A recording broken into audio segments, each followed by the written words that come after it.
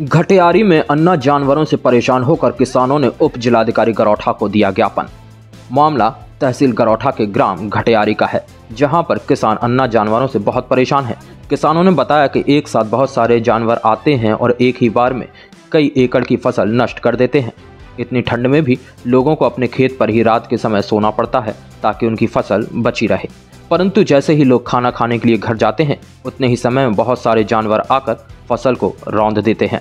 किसानों ने बताया कि पास के गाँव, खरवाच के लोगों के पालतू जानवर आते हैं। किसानों ने बताया कि लोग दूध निकालकर हमारे गाँव की तरफ़ जानवरों को छोड़ देते हैं, जिससे कई एकड़ की फ़सल नष्ट हो गई है, जिससे परेशान होकर लोग पहले थाना ककरबई में गए। परंतु थाने से कोई कार्यवाही न होने पर लोग मजबूरी में उप जिलाधिकारी के पास अपनी फरियाद को लेकर आना पड़ा। कहाँ से आए हैं आप? कटियारी क्या नाम है आपका? अजय कुमार सिंह। क्या समस्या है आपकी? जानवर खरमात बरमान के बहुत ज़्यादा परेशान कर रहे हैं। हम लोगों की फ़सल उजड़ चुकी है। और हम लोग उनके पास जाते हैं तो वो सुनते भी नहीं हैं। और थाने भी जाके आए हम लोग तो बोलते हैं एसडीएम पास एसडीएम साहब के पास में जाओ। उनको एसडीएम पास के उनके पास में आए हैं हम लोग। तो उन्होंने अपना एप्लीकेशन ले ली बोले हम कार्रवाई करेंगे।